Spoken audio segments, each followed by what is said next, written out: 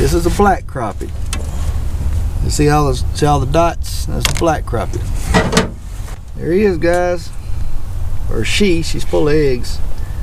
We're gonna toss her in a skillet.